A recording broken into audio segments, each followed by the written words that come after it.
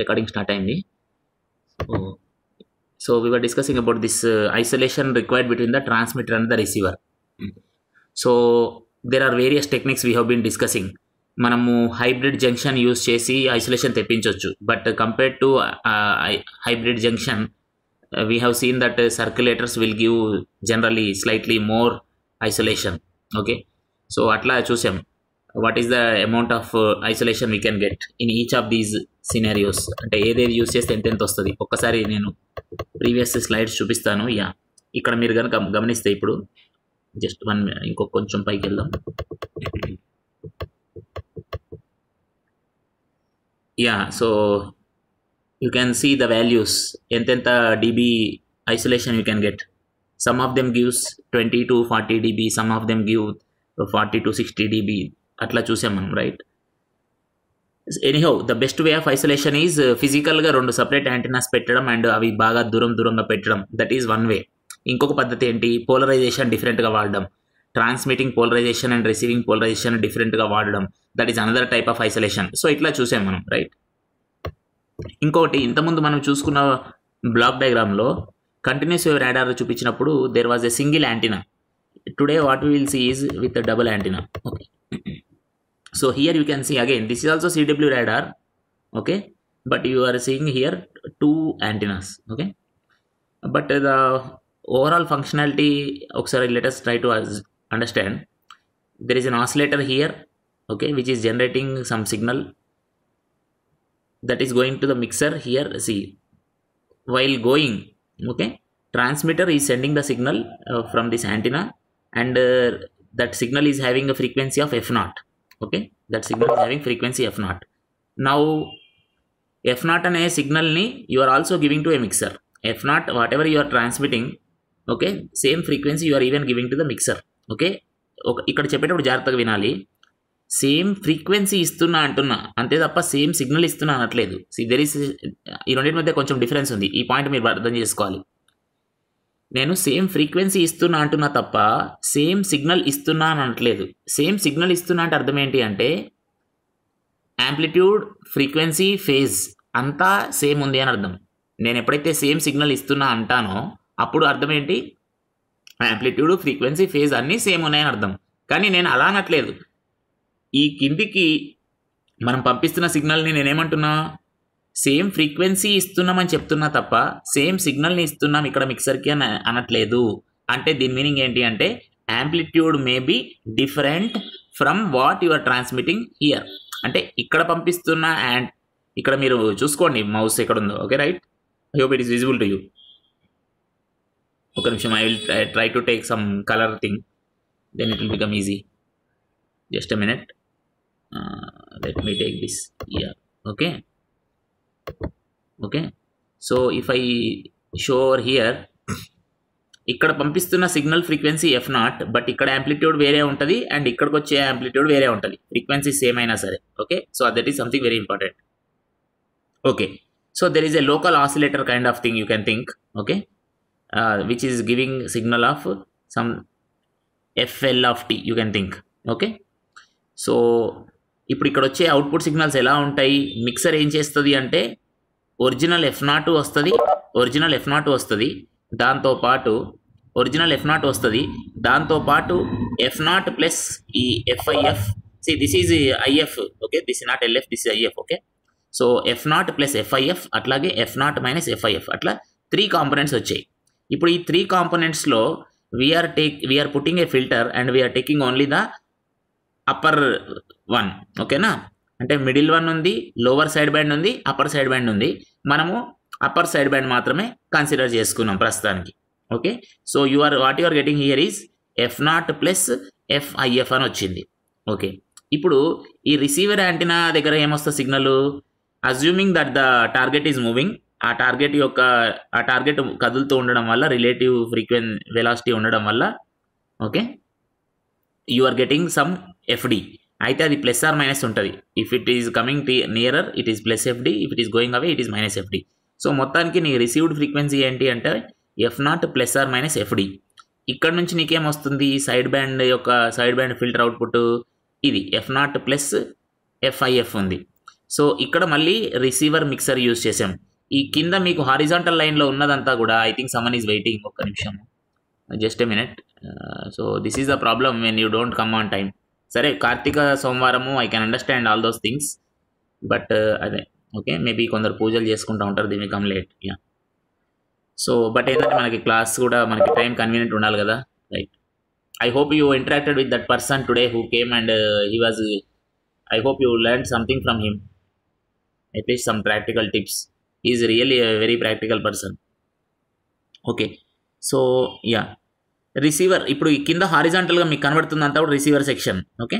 So receiver mixer so the output of that is like ఈ F naught F naught cancel అయిపోయింది okay? F naught F naught got cancel in the sense subtracted cancel అయిపోవడం అంటే అదేమి it is like subtracted the frequency component got subtracted okay? So the frequency which is coming out here is FIF plus or minus FD okay? So this you are passing through the IF amplifier okay? And after passing through IF if amplifier because this signal is generally weak so we need to amplify that. And then we are passing through so second detector తర్వాత ఏమొస్తుంది మనకు? Okay second detector తర్వాత you are getting a frequency component which is having only the FD అంటే Doppler frequency మాత్రమే. Okay so again the signal will be weak and you need to amplify that which is then given to the indicator so indicator అనగానే మనము చూసాం already ఏంటి continuous wave రైడర్లో indicator అంటే ఎలా ఉండొచ్చు? Sometimes it can be some simple earphones కూడా అయ్యి ఉండొచ్చు. Okay sometimes they can be simple earphones also okay or some frequency meter అంటే ఫ్రీక్వెన్సీని కొలిచే ఒక సాధనం. ఓకే సో అలా కూడా అయ్యి ఉండొచ్చు. So let us just come down slightly and try to understand some more points about this okay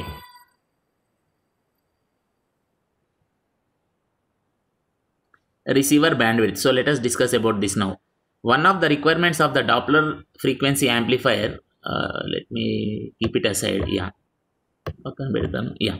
Okay, receiver bandwidth. One of the requirements of the Doppler frequency amplifier, okay, in the simple continuous wave radar or the IF amplifier of the sideband super heterodyne is that it be wide enough to pass the expected range of Doppler frequencies ఇప్పుడు ఇక్కడ ఏమంటున్నాడు? ఈ sentence యొక్క meaning అర్థం చేసుకుందాం. ఏమంటున్నాడు అంటే చాలా సింపుల్గా అంటున్నాడు. One of the requirements of the Doppler frequency amplifier అంటే మనం ఇక్కడ ఏదైతే యాంప్లిఫైర్స్ యూస్ చేసామో ఇప్పటిదాకా మీకు బ్లాక్ డయాగ్రామ్ చూపించే కదా ఆ బ్లాక్ డయాగ్రామ్లో మనం ఏవైతే యాంప్లిఫైర్స్ యూస్ చేసామో ఓకే? ఇది ఈ డాప్లర్ ఫ్రీక్వెన్సీ యాంప్లిఫైర్ ఇక్కడ ఉంది కదా ఈ ఇండికేటర్కి పక్కన. అది అది ఎలా ఉండాలి? అంటే చెప్తున్నాడు. అలాగే ఇంకొకటి ఐఎఫ్ యాంప్లిఫైర్ కూడా. ఇక్కడున్న ఐఎఫ్ యాంప్లిఫైర్ అలాగే ఇక్కడున్న ఈ డాప్లర్ యాంప్లిఫైర్ ఇవి ఎలా ఉండాలి? ఓకేనా? So or so one of the requirements of the Doppler frequency amplifier in the simple continuous wave radar okay? ఇది త్రీ పాయింట్ టూ డైగ్రామ్లో ఈ డైగ్రామ్లో కాదు. త్రీ పాయింట్ టూ డైగ్రామ్ అంటే మనం ఓన్లీ వన్ యాంటీనాతో చూసాం కదా? సో సింగిల్ యాంటీనాతో ఉన్న డైగ్రామ్కి వెళ్దాం ఒకసారి. Just a minute. ఇంకొంచెం పైకి వెళ్తే yeah just I will show you show diagram. That diagram three point two okay okay ఇక్కడ మీరు చూస్తున్న ఈ బీట్ ఫ్రీక్వెన్సీ యాంప్లిఫైర్ గురించి మాట్లాడుతున్నాడు. ఓకేనా అంటే beat frequency amplifier is like your Doppler amplifier ఇక్కడ. ఎందుకంటే ఇక్కడ ఎఫ్డి వస్తుంది కదా? ఎఫ్డి వస్తుంది కాబట్టి this you can treat as your Doppler frequency amplifier okay so అది అంటే ఈ బ్లాక్ డయాగ్రామ్లో దీని గురించి మాట్లాడుతున్నాడు. అలాగే three point four block diagram అంటే కొద్దిసే జస్ట్ ఇప్పుడు వచ్చే డయాగ్రామ్ ఈ పర్టికులర్ డయాగ్రామ్లోనేమో ఐఎఫ్ యాంప్లిఫైర్ గురించి మాట్లాడుతున్నాడు. ఏం మాట్లాడుతున్నాడు అంటే అవి ఎలా ఉండాలి అంటున్నాడంటే జస్ట్ సీ ఈ పాయింట్ చదవండి ఇప్పుడు. The IF amplifier of the side band superheterodyne అంటే ఈ త్రీ పాయింట్ ఫోర్ ఇప్పుడు ఇక్కడ చూస్తున్న ఇది okay? Is that it be wide enough to pass the expected range of Doppler frequencies. అంటే ఇవి ఎలా ఉండాలి అంటే ఇవి ఎంత బ్యాండ్ విడ్త్ కలిగి ఉండాలి అంటే it should have enough bandwidth to pass the expected range of Doppler frequencies. అంటే మనము ఒక విమానాన్ని మనం కనుక చూడదలుచుకుంటే ఈ రాడార్ యూజ్ చేసి అవి సుమారుగా ఎంత వెలాసిటీతో వెళ్తాయి? మనకు ఒక అంచనా ఉంటుంది. అది మరీ గంటకి లక్ష కిలోమీటర్ల వేగంతో అయితే రాదు కదా? Just you think. కొంచెం కామన్ సెన్స్ అప్లై చేయండి. ఒక విమానాన్ని మనము రాడార్ ఉపయోగించి చూడదలుచుకుంటే గంటకి లక్ష కిలోమీటర్ల వేగంతో అయితే ఆ విమానం రాదు కదా? అంటే ఇప్పుడు లక్ ఇక్కడ చెప్పదలుచుకుంది ఏంటి అంటే విమానము సుమారుగా ఎంత వెలాసిటీతో వెళ్తుంది అనేది మనకు ఒక అంచనా ఉంటుంది. కరెక్ట్గా తెలియదు కానీ ఇంత నుంచి ఇంత ఉండొచ్చు అని ఒక అంచనా ఉంటుంది. అంటే వెలాసిటీ అంచనా ఉన్నప్పుడు వెలాసిటీ నుంచి మనము ఫ్రీ ఫ్రీక్వెన్సీ షిఫ్ట్ కూడా అంచనా వేయొచ్చు. ఎందుకు మనకు ఆ ఫార్ములా తెలుసు? అయ్యో మనం ఆల్రెడీ ఇప్పటి నుంచి గత ఐదారు రోజుల నుంచి అది చెప్పుకుంటాం ఐదారు క్లాసుల నుంచి రైట్? ఎప్పుడైతే వెలాసిటీ మనకు తెలుస్తుందో రిలేటివ్ వెలాసిటీ అప్పుడు మనము డాప్లర్ షిఫ్ట్ ఫ్రీక్వెన్సీ కూడా అంచనా వేయొచ్చు. సో మనకి సుమారుగా ఒక విమానము ఇంత వెలాసిటీతో వెళ్తాను ఒక సుమారుగా ఇక్కడ నుంచి ఇక్కడ దాకా అని ఒక రేంజ్ తెలుసు కాబట్టి దానికి తగ్గట్టుగా ఎఫ్డి కూడా ఇగో సుమారుగా ఇక్కడ నుంచి ఇంత ఈ దీని మధ్యలో ఉంటుంది అని మనకు ఒక అంచనా ఉంటుంది. సో ఇప్పుడు నీ యాంప్లిఫైయర్స్ నీ యాంప్లిఫైయర్స్ ఏంటది? ఆ డాప్లర్ ఫ్రీక్వెన్సీ యాంప్లిఫైయర్ అలాగే ఈ ఐఎఫ్ యాంప్లిఫైయర్ ఏవైతే చెప్పాడో ఈ యాంప్లిఫైయర్స్ యొక్క బ్యాండ్ విడ్త్ కూడా ఎంత ఉండాలి అంటే it should be able to pass that particular range of frequencies మనము ఈ విమానము ఏ రేంజ్ ఆఫ్ ఫ్రీక్వెన్సీస్లో ఈ విమానము ఏ రేంజ్ ఆఫ్ వెలాసిటీతో వెళ్తుందో మనకు తెలు సుమారుగా ఏ వాల్యూస్ ఆఫ్ వెలాసిటీతో వెళ్తుందని మనం ఎక్స్పెక్ట్ చేస్తున్నామో. దాని తగ్గట్టుగా ఏ ఫ్రీక్వెన్సీస్ ఆఫ్ డాప్లర్ అది ఇస్తుందని మనం ఎక్స్పెక్ట్ చేస్తున్నామో. ఆయా ఫ్రీక్వెన్సీస్ని ఇది పాస్ చేసేటట్టుగా మనము డిజైన్ చేసుకోవాల్సి ఉంటుంది. అది వాడు చెప్పాడు ఇక్కడ సెంటెన్స్లో. Okay. In most cases of practical interest the expected range of Doppler frequencies will be much wider than the frequency spectrum occupied by the signal energy మళ్ళీ ఇదొకటి ఇంపార్టెంట్ పాయింట్ చూడండి. In most cases of practical interest the expected range of Doppler frequencies will be much wider than the frequency spectrum occupied by the signal energy అంటే ఏంటంటే అంటే ఏమంటున్నాడంటే చూడండి ఇవి ఎందుకు నేను ఇలా ఎక్స్ప్లెయిన్ చేస్తున్నాను అంటే ఐ డోంట్ థింక్ మీ సొంతంగా ఇవి చదివేసి మీరు అర్థం చేసుకోగలిగితే దట్స్ హ్యాపీ మంచిదే. కానీ ఐ డోంట్ థింక్ సో మీకు ఇవన్నీ అర్థం చేసుకోవడంలో ఇబ్బంది అవుతుందేమో. అందుకే నేను వాక్యం వాక్యం చదివి ఎక్స్ప్లెయిన్ చేస్తున్నా. Okay right it may be looking like ఏంటి వీడు ఇంత ఇట్లా చెప్తున్నాడు అని but this is required okay మీరు ఆడియో రికార్డింగ్ చేసుకోండి కావాలనుకుంటే. ఓకే నేను మాట్లాడేది ఆడియో రికార్డింగ్ చేసుకొని తర్వాత కూడా మీరు బుక్ పక్కన పెట్టుకున్నారనుకో మళ్ళీ నెక్స్ట్ టైం ఎప్పుడైనా వినాలి అనుకుంటే it will be helpful for you okay అందుకోసం. సరే ఇక్కడ ఈ వాక్యంలో ఏమంటున్నాడు అంటే చాలా సింపుల్ మాట చెప్తున్నాడు. In most of in most cases of practical interest the expected range of Doppler frequencies will be much wider అంటే మనము యాంప్లిఫైర్ తయారు చేస్తాం కదా ఆ యాంప్లిఫైర్ని మనం ఎలా తయారు చేస్తాము జనరల్గా అంటే మనము సపోజ్ ఉదాహరణకి మనకు వచ్చే డాప్లర్ ఫ్రీక్వెన్సీస్ ఆ విమానం కదలిక వల్ల మనకు వచ్చే డాప్లర్ ఫ్రీక్వెన్సీస్ ఉదాహరణకి ఒక ట్వంటీ ఫైవ్ హర్ట్స్ నుంచి ట్వంటీ ఫైవ్ హర్ట్స్ నుంచి హండ్రెడ్ హర్ట్స్ ఉంటుంది అనుకుందాం. Suppose just let us think like that ఇరవై ఐదు హర్ట్స్ నుంచి వంద హర్ట్స్ మధ్యలో ఉంటుంది అని మనం అనుకుందాం సపోజ్ అప్పుడు మనం ఏం చేస్తాం మరి? మన యాంప్లిఫైయర్ని దానికన్నా కాస్త ఎక్కువే పెట్టుకుంటాం బ్యాండ్ విడ్త్ అంటే ట్వంటీ ఫైవ్ నుంచి హండ్రెడ్ ఉంటుందని మనం ఒక అంచనా వేసాం కాబట్టి ఆ విమానం వల్ల వచ్చే ఫ్రీక్వెన్సీ అనేది మనం ఏం చేస్తాము? ట్వంటీ ఫైవ్ కన్నా ఇంకొంచెం తక్కువ నుంచే మొదలు పెట్టుకుంటాం మన బ్యాండ్ విడ్త్ని అలాగే హండ్రెడ్ దాకా వస్తుందని మనం అంచనా వేసాం కాబట్టి మనం ఇంకొంచెం ఎక్కువే మేబీ వన్ ఫిఫ్టీయో టూ హండ్రెడో త్రీ హండ్రెడో అట్లా ఎక్కువ పెట్టుకుంటాం. అదే ఇక్కడ అంటున్నాడు ఈ మాటలో. In most cases of practical interest the expected range of Doppler frequencies will be much wider than the frequency spectrum occupied by the signal energy అంటే ఇంకోటి ఏంటంటే ఇక్కడ ఉట్టి సిగ్నల్ ఓన్లీ సిగ్నల్ మాత్రమే ఉందనుకో అప్పుడు ఎంత బ్యాండ్ విడ్త్ ఉంటుంది? Some bandwidth it will have. But because of this motion okay you we will have more bandwidth consequently the use of wide band amplifier covering the expected Doppler range will result in an increase in noise and lowering of receiver sensitivity. మళ్ళీ ఇంకొక problem ఉంది. ఇప్- ఇప్పుడు చూడండి మనము band width కొంచెం ఎక్కువ పెట్టుకోవాలి. అంచనా వేసిన దానికన్నా కాస్త ఎక్కువ పెట్టుకోవాలి. కానీ ఎక్కువ పెట్టుకుంటే మళ్ళీ ఒక సమస్య వచ్చే అవకాశం ఉంది. ఏంటబ్బా అది అంటే ఇప్పుడు అదే ఇక్కడ ఇచ్చాడు.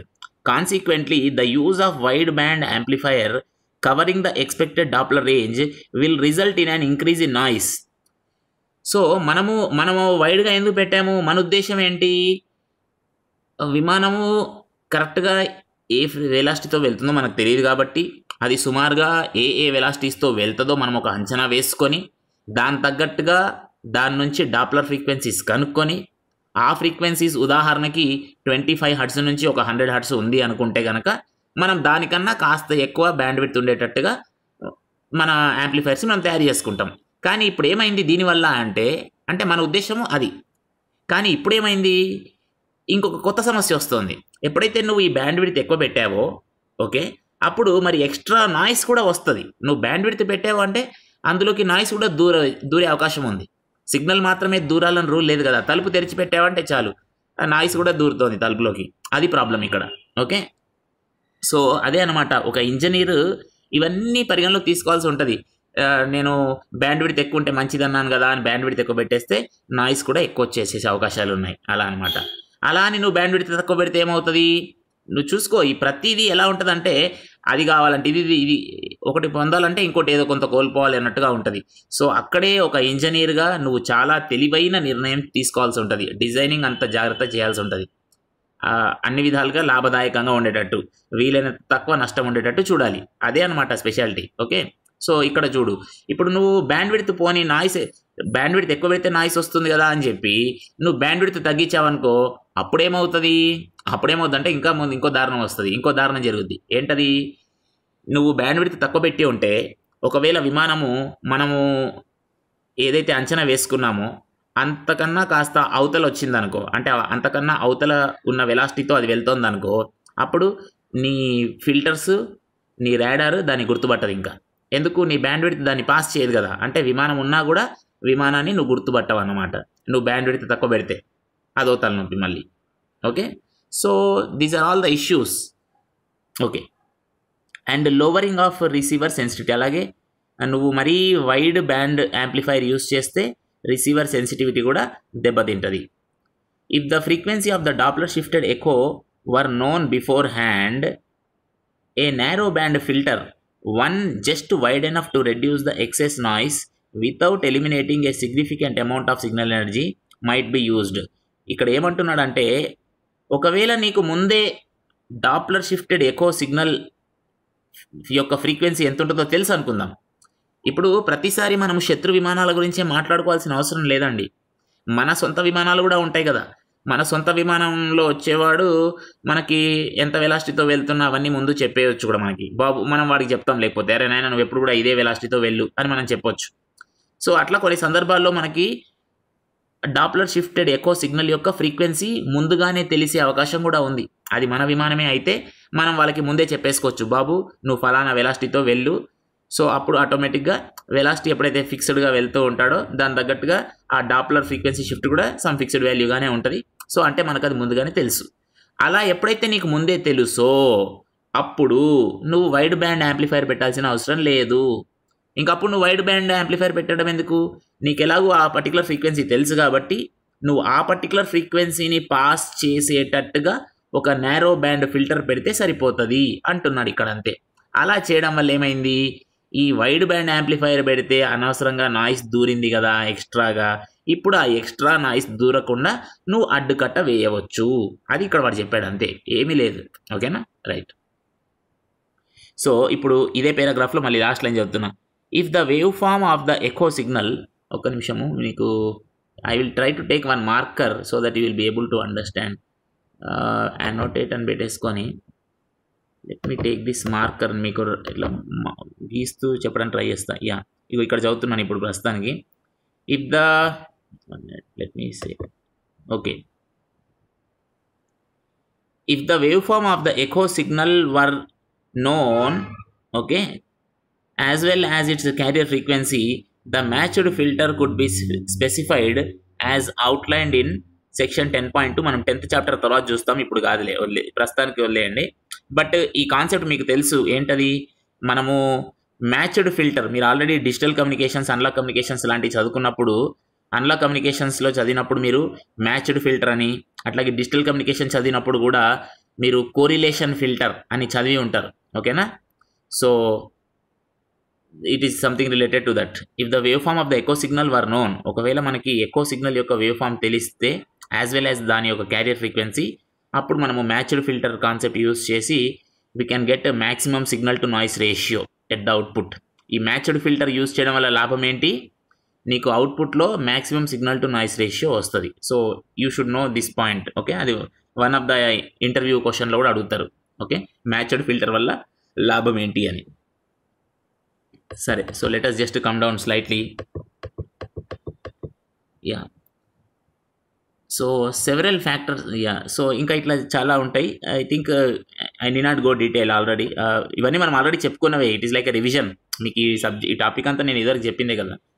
Okay long before so I think we can just skip this now right okay so let me just try to explain this diagram okay the frequency spectrum of continuous wave oscillation of an infinite duration and finite duration okay so ఎలా ఉంటుంది? ఇప్పుడు continuous wave spectrum అనుకున్నాం కదా. Continuous wave ఏంటి? Pure sine wave తీసుకున్నాం అనుకో pure sine wave తీసుకుంటే అది ఎలా ఉంటుంది నీకు? టైం డొమైన్లో చూస్తే చూడ్డానికి సైన్ వేవ్ బొమ్మ ఎలా ఉంటుంది? మామూలుగా కరువు కరువు లాగా ఉంటుంది కదా అలా ఉంటుంది ఓకే? అదే నువ్వు దాన్ని ఫ్రీక్వెన్సీ డొమైన్లో చూసావనుకో సైన్ వేవ్ అంటే అర్థం ఏంటి? Sine two pi f naught t అంటాం కదా. Sine two pi f naught t అంటాం. సో ఎఫ్ నాట్ దగ్గర ఎఫ్ నాట్ దగ్గర దానికి కొంత హైట్ ఉంటుంది. కొంత యాంప్లిట్యూడ్ ఉంది ఇక్కడ. ఓకేనా సో అంటే ఫ్రీక్వెన్సీ డొమైన్లో నువ్వు సైన్ వేవ్ని చూసినప్పుడు నీకు ఒక సింగిల్ స్ట్రైట్ లైన్ లాగా వస్తుంది. ఓకేనా సో అది. ఎప్పుడు నువ్వు అట్లా ఇన్ఫినిట్ డ్యూరేషన్ సిగ్నల్ తీసుకున్నప్పుడు ఒక sine wave infinite duration signal తీసుకున్నప్పుడు you will see this kind of thing అలా కాకుండా నువ్వు జస్ట్ ఒక ఫైనైట్ డ్యూరేషన్ సిగ్నల్ తీసుకున్నావు అనుకో అప్పుడు నీకు ఎలా వస్తుంది? యా అప్పుడు నీకు ఒక ప్రాక్టికల్గా అయితే ఐడియల్గా అయితే నీకు ఒక సింగిల్ లైన్ లాగా రావాలి. బట్ నీకు because your taken a final duration thing నీకు కొంచెం చిన్న ఆసిలేషన్స్ కూడా you will be able see you will be seeing here like this ఇట్లా కనబడుతుంది. ఒకసారి దీన్ని నేను మీకు సిమ్యులేషన్లో చేసి చూపించడం ట్రై చేస్తాను. ఒకసారి let me share the screen Audacity. ఒక సాఫ్ట్వేర్ చూపిస్తాను. I will try to show there. ఈ సాఫ్ట్వేర్లో మనము చూడొచ్చు సైన్ వేవ్. ఫ్రీక్వెన్సీ డొమైన్లో సైన్ వేవ్ ఎలా ఉంటుందో చూద్దాం. ఓకే? ఇది ఫ్రీ సాఫ్ట్వేరే. మీకు మొన్న ఇదివరకు కూడా చెప్పాను పాత క్లాస్లో. ఇప్పుడు ఇక్కడ నేను జనరేట్ అంటాను. జనరేట్లో టోన్ అంటాను. టోన్లో సైన్ వేవ్ పెట్టుకున్నా ఇగో సైన్ వేవ్ అని ఉంది. సపోజ్ థౌజండ్ హెడ్స్ అనుకుందాం. థౌజండ్ హెడ్స్ ఉంది. వన్ కిలో హెడ్స్ ఉంది. ఒక టెన్ సెకండ్స్ పాటు ఓకే అంటున్నా. ఇప్పుడు ఇక్కడ సంథింగ్ వచ్చింది. ఇదేంటిది అంటే సైన్ వేవ్ నీకు డౌట్ వచ్చింది కాబట్టి I will show you like this maybe if you have a doubt ఇది సైన్ వేవ్ లాగా కనబడట్లేదు కదా. వీడేంటి సైన్ వేవ్ అంటున్నాడు అని if you get a doubt ఇక్కడ నేనేం చేస్తా చూడండి. జూమ్ చేస్తున్నా. జూమ్ చేసినప్పుడు మనకు అది సైన్ వేవ్ లాగా కనబడింది. ఓకే ఇప్పుడు నమ్ముతాం. నేను స్టార్టింగ్లో చూపించినప్పుడు మీకు నమ్మకం కలగకపోయి ఉండొచ్చు. ఏదో చూపించాను అనుకుని ఉండొచ్చు. Okay maybe okay right so if I had shown like this మొదట్లో ఇట్లా చూపించేసరికి ఏంటో అనుకున్నారు మీరు. బట్ ఇట్లా జూమ్ చేసి చూపించినప్పుడు ఓహో ఇది సైన్ వేవే కదా అని ఒక మీరు నమ్మగలుగుతున్నారు. అయితే ఇదేంటి? టైం డొమైన్లో గీశాను. ఇప్పుడు దీన్ని ఫ్రీక్వెన్సీ డొమైన్లో చూడాలంటే ఏం చేయాలి అంటే ఇక్కడే ఓకే? ఇక్కడ మీకు అనలైజ్ అని ఉంది. అనలైజ్ నొక్కుతా. అనలైజ్లో ప్లాట్ స్పెక్ట్రమ్ ప్లాట్ స్పెక్ట్రమ్ చూడండి. ఇప్పుడు చూసారా ఎట్లా ఉందో? ఈ బొమ్మ ఎలా ఉంది చూసారు కదా? కరెక్ట్గా థౌజండ్ దగ్గర ఒక పీక్ వచ్చింది సింగిల్. ఐడియల్గా అయితే ఒక సింగిల్ కట్టెపుల లాగా రావాలి ఇక్కడ. ఐడియల్గా అయితే సైన్ వేవ్ కదా? ఒక ఫ్రీక్వెన్సీ మాత్రమే ఉండాలి. ఇంకా పక్కన కొంచెం అటు ఇటు ఏమీ ఉండకూడదు. ఓకే? ఓకేనా? ఏమాత్రం అటు కొంత ఇటు కొంత ఉండకూడదు. Okay? But still it is representing a sine wave. Okay? ఇట్లా నేరో కట్టెపుల్లలాగా వస్తే that is representing sine wave. And ఎక్కడ వస్తుంది అది? థౌజండ్ దగ్గర వస్తుంది అంటే ఈ సైన్ వేవ్ యొక్క ఫ్రీక్వెన్సీ థౌజండ్ హర్ట్స్ అనమాట అట్లా యూ కెన్ అండర్స్టాండ్. సో మీరు అదే ఇక్కడ ఇప్పుడు దాకా టెక్స్ట్ బుక్లో చూశారు. Let me open that text book అర్థమైంది కదా ఇప్పుడు? ఈ బొమ్మ మీకు ఇప్పుడు అర్థమై ఉండాలి. ఓకేనా? సరే. So let us just come down slightly further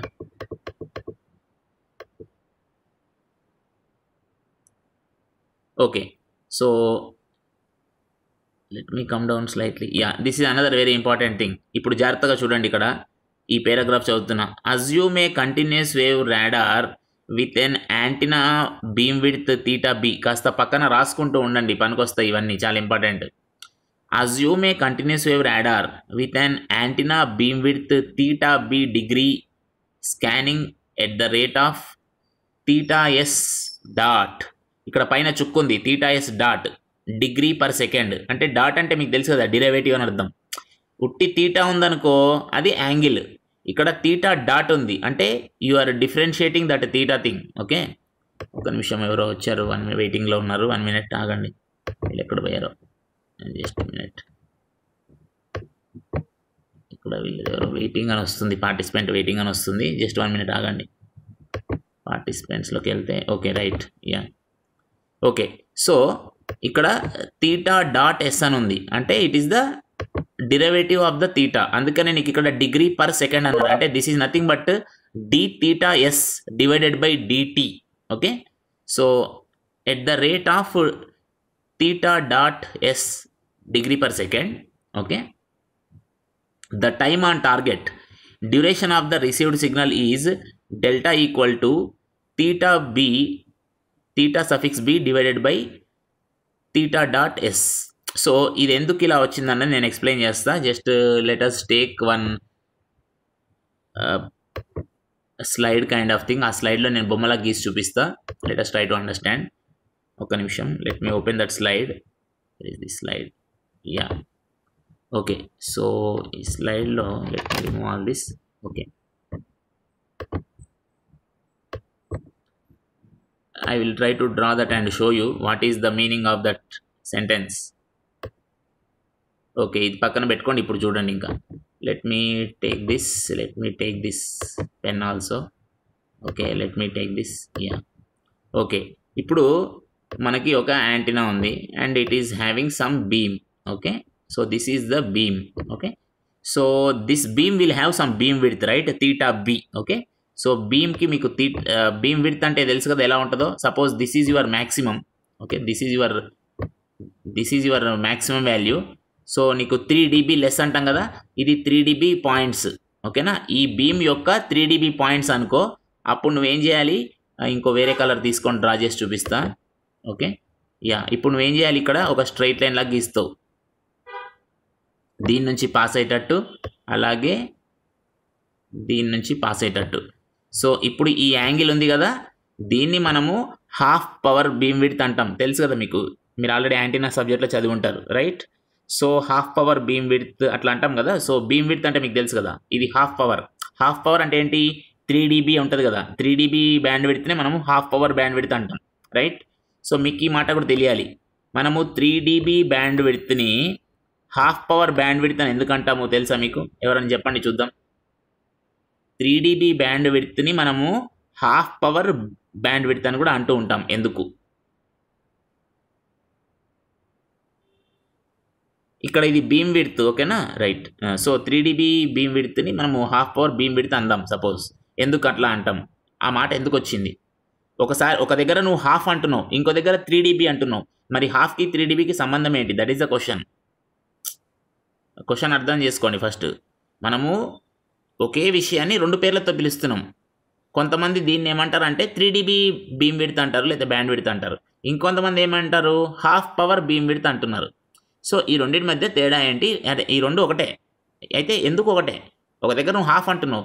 half three ఎట్లా సేమ్ అవుతాయి? అది నువ్వు నాకు చెప్పాలి. సో ట్రై చెప్పడానికి ట్రై చేయండి. సో మీరు ఆల్రెడీ యాంటీనస్లో చదివి ఉంటారు. ఓకే? సో ఇది మీ మెయిన్ బ్యా మెయిన్ బీమ్ అనుకుందాం.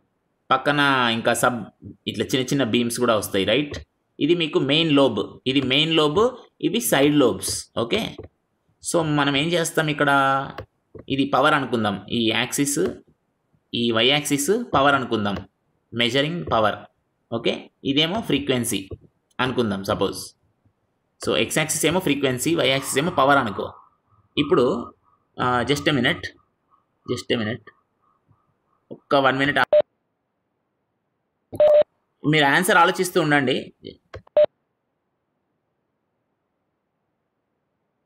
Just get back in one minute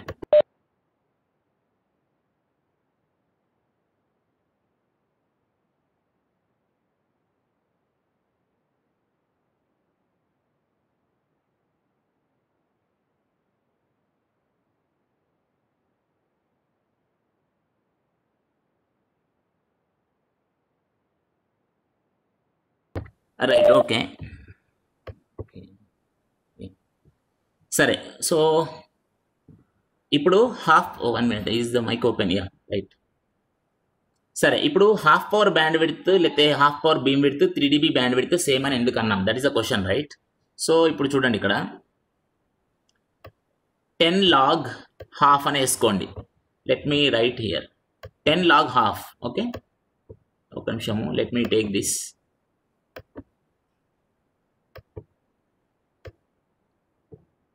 okay let me type. 10 log half. Okay so ten log half చేస్తే నాకేమొచ్చింది? That is nothing but minus ten log two okay ఎందుకు ఆ హాఫ్ని two power minus one అని రాసుకున్నా? Okay so minus ten log two వచ్చింది. ఇప్పుడు log two value ఎంత? Point three zero one zero so that is nothing but minus ten into point one minute point three zero one zero so that you will come as minus three okay so sorry minus three అంటే నీకు half power band width ఈ three DB ఎందుకు వచ్చింది? ఇప్పుడు అర్థమైంది కదా? ఓకేనా so అందుకనే రెండింటికి సేమ్ పేరే ఓకేనా దట్ ఈ హాఫ్ పవర్ బీమ్ విడతన్న three DB band విడతన్న both are same okay so అట్లా ఈ పేరు వచ్చింది ఈ పేరు తెలియాలి ఓకే సో మీరు ఎవరైనా అటెండెన్స్ తీసుకొని పెట్టుకోండి మళ్ళీ సడన్గా మిస్ అయిపోయామంటారు తర్వాత ప్రాబ్లమ్ ఉంది okay so letters just again come back let me explain this part okay right so that is what is about the beam width kind of thing okay so assume the continuous your radar with antenna beam width is theta B degrees okay. Scanning just minute. Scanning at the rate of theta S dot. Okay. So ఇప్పుడు ఈ beam width అనేది ఒకే డైరెక్షన్లో ఉండకపోయి ఉండొచ్చు. అది rotate అవుతుంది అనుకుందాం. మనకి సర్చింగ్ రాడార్స్ ఉంటాయి. సర్చింగ్ రాడార్స్ ఎట్లా ఉండొచ్చు? బీమ్ ఒకవైపే చూస్తూ ఉండకుండా beam may be rotating. So beam rotation ఎలా ఉందంట అంటే ఒక నిమిషము లెటర్ సంథింగ్ అయ్యా సో ఈ బీమ్ రొటేషన్ ఎలా ఉందంట అంటే ఫర్ ఎవ్రీ సెకండ్ అది తీటా ఎస్ డిగ్రీస్ తిరుగుతోంది ఓకేనా ఆ యాంటీనా ఆర్ యాంటీనా యొక్క బీమ్ ఓకేనా కొన్నిసార్లు యాంటీనాని తిరగకపోవచ్చు యాంటీనా తిరగకుండా యాంటీనా యొక్క బీమ్ తిరగవచ్చు ఓకేనా మనకి రెండు రకాల స్టీరింగ్స్ ఉన్నాయి మెకానికల్ స్టీరింగ్ ఉంది ఎలక్ట్రానిక్ స్టీరింగ్ ఉంది. సో యాంటీనానే తిరగాలి అని రూల్ ఏం లేదు. యాంటీనా తిరగకపోయినా యాంటీనా యొక్క బీమ్ని మనము ఎలక్ట్రానిక్ స్టీరింగ్ చేయొచ్చు. ఎలక్ట్రానిక్ స్టీరింగ్ చేయాలంటే ఏం చేయాలి? మీరు యాంటీనా సబ్జెక్ట్లో చదివి ఉంటారు. You can use something like అంటే uh, మీరు ఆల్రెడీ ఫేస్ డర్రేస్ లాంటివి చదివి ఉంటారు రైట్ ఎలక్ట్రానిక్ బీమ్ స్టీరింగ్ అని ఓకే అక్కడ మనము uh, కరెంట్స్ ఎలా ఫీడ్ చేస్తాం? ఒకవేళ ఫేస్డ్ అర్రే ర్యాడర్ అనుకుందాం. అంటే ఇప్పుడు నేను మాట్లాడుతుంది ఫేస్డ్ అర్రే ర్యాడర్ మనం చూసిన బ్లాక్ డయాగ్రామ్లో మనకి ఫేస్డ్ అర్రే యాంటీనాస్ లాగా ఏమీ బొమ్మ గీయలేదు. బట్ ఎలక్ట్రానిక్ స్టీరింగ్ చేయడం కోసం జస్ట్ ఎగ్జాంపుల్ ఇస్తున్నాం. ఓకేనా సో ఎలక్ట్రానిక్ స్టీరింగ్ చేయాలి ఫేజ్ రైడర్స్ యూస్ చేసి అంటే మనము అంటే ఫేజ్ అర్రే రైడర్స్ యూస్ చేయాలంటే ఆ అర్రే ఎలిమెంట్స్ ఉంటాయి కదా. ఓకే దానికి మనము కరెంట్స్ ఎలా ఇస్తాం? సేమ్ ఫేజ్తో కరెంట్ ఇస్తామా? డిఫరెంట్ ఫేజ్తో ఇస్తామా? వాటి మధ్య ఫేజ్ డిఫరెన్స్ ఎంత మెయింటైన్ చేస్తాం? So based on all that ఓకేనా you can switch the beam ఓకేనా ఆ బీమ్ని మనం ఎట్టేటట్టు అట్లా స్విచ్ చేయడానికి ఉంటుంది అనమాట ఓకే డైరెక్షన్స్ ఓకే సో ఇక్కడ మనము let us assume that the antenna the beam is rotating with a angle of theta S per second okay so ఈ బీము ఇప్పుడు ప్రస్తుతం ఈ బొమ్మలో చూసినట్టుగా ఉంది. మేబీ కొద్దిసేపు అయినాక ఒక సెకండ్ తర్వాత మీరు చూస్తే నేను మళ్ళీ గీస్తున్నా. Let me just open this ఒక్క నిమిషం. I will just draw and show. I try to draw and show with a different colour. Yeah. So okay right.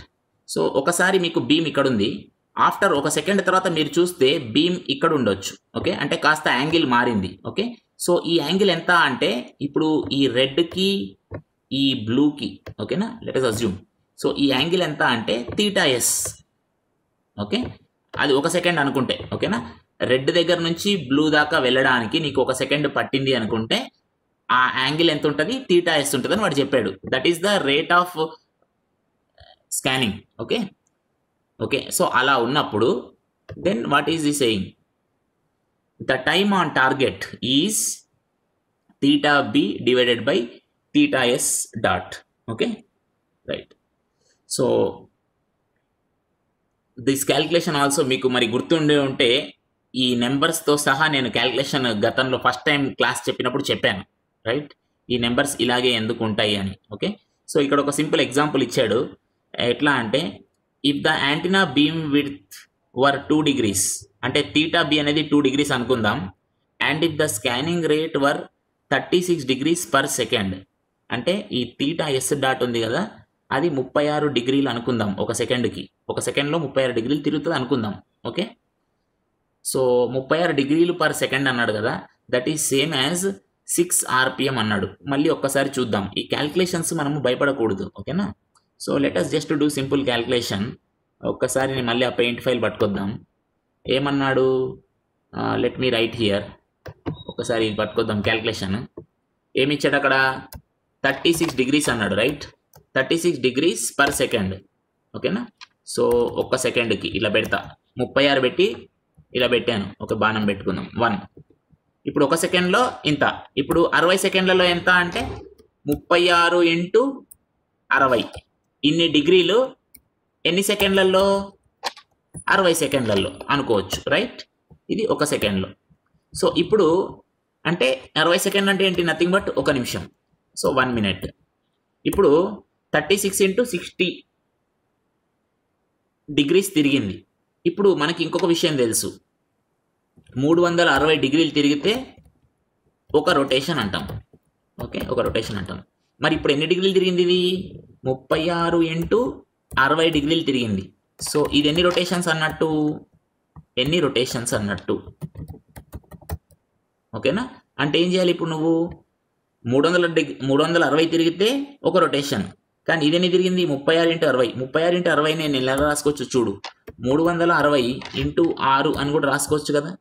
ముప్పై ఆరు ఇంటూ అరవైని మూడు వందల అరవై ఇంటూ ఆరు అని రాసుకోవచ్చు. అంటే నీకు ఇప్పుడు ఆరు వచ్చింది. అంటే సిక్స్ రొటేషన్స్ అన్నమాట. ఓకేనా? ఎందుకంటే ప్రతి మూడు వందల అరవైకి ఒక రొటేషన్ కానీ ఇంటూ సిక్స్ ఉంది. అంటే six rotations so six rotations per minute అలా.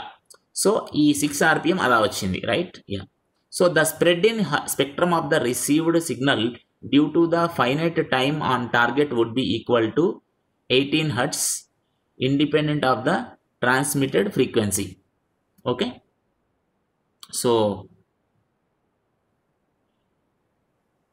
okay right so you just substitute these values and you can get theta B నీకు ఇచ్చాడు తీటా బి వాల్యూ నీకు తెలుసు ఓకేనా తీటా బి వాల్యూ తెలుసు తీటా ఎస్ డాట్ తెలుసు ఓకే అంటే two degrees ఉంది divided by thirty six degrees ఉంది.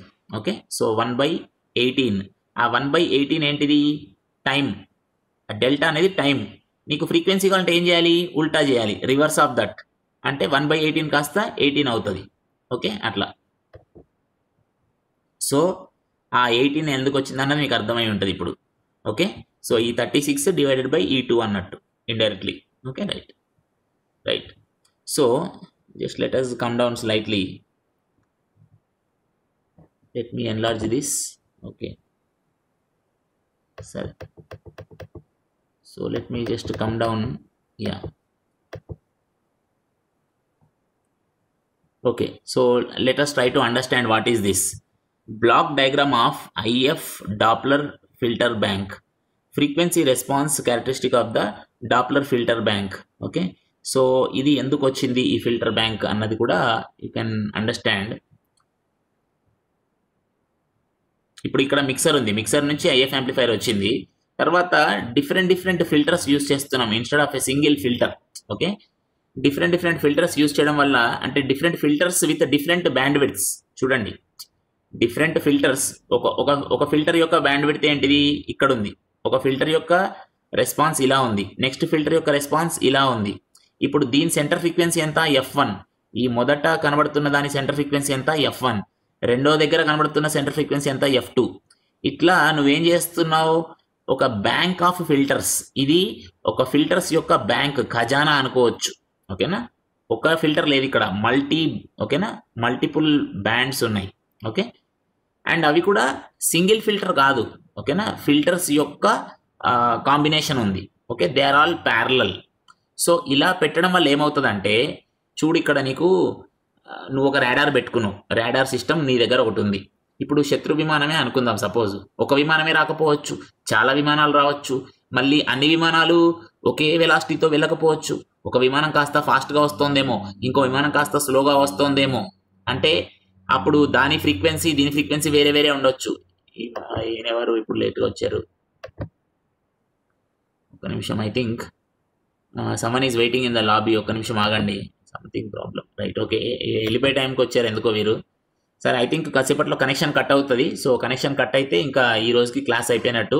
టుమారో యాజ్ ఇట్ ఈజ్ మామూలుగా రెగ్యులర్ టైం ఏది ఉందో అదే టైంకి తీసుకుంటా. ఓకేనా I want to take tomorrow one extra class because Wednesday మళ్ళీ నాకు ఇబ్బంది ఉండొచ్చు. సో రెగ్యులర్ క్లాస్ అయితే ఎలాగో ఉంటుంది. So try to be on time to the class okay yeah ఇప్పుడు మళ్ళీ క్లాస్ ఇప్పుడు కట్ అయిపోతే కనెక్షన్ ఇంకా ఈ రోజుకి అయిపోయినట్టే భావించండి. Okay tomorrow we will take at the right time మామూలుగా సిలబస్ మీకు టైం టేబుల్ ఎంత ఉంటే అంత ఆ టైమే. ఓకే సరే అయితే ఓకే ఇంకోటి మీరెవరు రైతులకు మద్దతుగా ఏమీ బొమ్మలు గీయలేదా? ఛాయాచిత్రాలు గీసి పంపొచ్చు కదా right okay so let us come over here ఇప్పుడు ఆ విమానాలు ఒక విమానమే ఉండకపోవచ్చు కదా. ఈ రెడ్డయ్య గారు ఎవరో కానీ రైట్ ఆయన అంటే అటెండెన్స్ తీసుకోవడం వచ్చిపోతారా అంటే నాకు తెలియదు. అంటే ఆన్లో వస్తాడు అటెండెన్స్ కొట్టేసుకుంటాడు తర్వాత మళ్ళీ వెళ్ళిపోతాడా? I don't know okay so మరి ఇప్పుడు వేరు విమానాలు ఉండొచ్చు వేరు వేరు వెలాసిటీస్తో వెళ్తూ ఉండొచ్చు. అప్పుడు వాటి వాటి ఫ్రీక్వెన్సీస్ కూడా వేరే వేరే అంటే ఆ డాప్లర్ ఫ్రీక్వెన్సీస్ కూడా వేరే వేరే వాల్యూస్ ఉండొచ్చు. మరి ఇప్పుడు నువ్వు వాటికి తగ్గట్టుగా ఫిల్టర్స్ పెట్టుకోవాలి కదా? So you have a bank of filters ఓకేనా సో కొన్ని విమానాలు ఒక ఒక ఫిల్టర్తో డిటెక్ట్ అవుతాయి. అంటే ఒక ఫిల్టర్ ద్వారా పాస్ అయ్యి నువ్వు డిటెక్ట్ చేయగలుగుతావు. ఇంకా వేరే వెలాసిటీతో వెళ్ళే విమానాలు వాటి ఫ్రీక్వెన్సీకి తగ్గట్టుగా ఆ- ఆ వెలాసిటీ తగ్గట్టుగా సమ్ ఫ్రీక్వెన్సీ ఉంటుంది డాప్లర్ ఫ్రీక్వెన్సీ. దాని తగ్గట్టుగా అది ఇంకొక ఏదో వేరే ఫిల్టర్ ద్వారా పాస్ అయ్యి నీకు ఇక్కడ ఇండికేటర్లో అది ఉంది అన్న విషయం తెలుస్తూ ఉంటుంది. అలా అనమాట so so you may have this kind of structure. అర్థమైందా? అంటే ప్రాక్టికల్గా వచ్చేసరికి ఈ ఇష్యూస్ అన్నీ వస్తాయి. నువ్వు పైన చూసినప్పుడు మొదటి బ్లాక్ డయాగ్రామ్ చూసినప్పుడు ఉట్టి ఫిల్టర్ అన్నావు లేదా ఉట్టి యాంప్లిఫైర్ అన్నావు. చూడండి ఎప్పుడు కూడా మనము మొదటిసారి చెప్పుకున్నప్పుడు మొదటే భయపెట్టకుండా కొంచెం సింపుల్గా గీసుకున్నాం బొమ్మ. ఇప్పుడు మళ్ళీ లోపల ఈ ఐఎఫ్ యాంప్లిఫైర్ అనేది సమ్ కైండ్ ఆఫ్ ఫిల్టర్ బేసిక్గా ఈ ఐఎఫ్ యాంప్లిఫైర్ లోపల ఏముంటుంది? ఇట్స్ అంటే దాన్నే యాంప్లిఫైర్ అంటున్నావు దాన్నే ఫిల్టర్ అని కూడా అంటున్నావు. ఓకేనా? దాన్నే యాంప్లిఫైర్ అంటున్నావు దాన్నే ఫిల్టర్ అని కూడా అంటున్నావు. Okay? So you should understand again మనం ఆ పేరు ఎలా పెడతాము అంటే అది చేసే పనిని బట్టి పెడతాం. దాన్ని యాంప్లిఫైర్ అని ఎందుకు అన్నావు అంటే సిగ్నల్ స్ట్రెంగ్త్ పెంచుతుంది కాబట్టి దాన్ని యాంప్లిఫైర్ అని పిలిచావు. దాన్నే నువ్వు ఫిల్టర్ అని కూడా ఎందుకు అంటున్నావు అంటే అది ఒక పర్టికులర్ రేంజ్ ఆఫ్ ఫ్రీక్వెన్సీస్ని మనకు పంపిస్తుంది. అన్ని ఫ్రీక్వెన్సీస్ని పంపదు. ఓకే సో ఇక్కడ మనము దాన్నే ఫిల్టర్ అని పిలుస్తాము